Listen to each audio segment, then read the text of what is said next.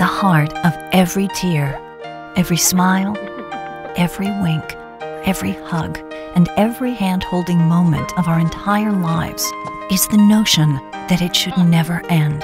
Because for all its ups and downs, for all the good and all the bad, it really is too good to be true. So when we turn a page and something like cancer steps in, it's good to know that at the heart of fighting cancer are six centers of excellence near six regional hospitals, where the power of research based medicine and the art of compassionate care are working together every day in the fight of a lifetime.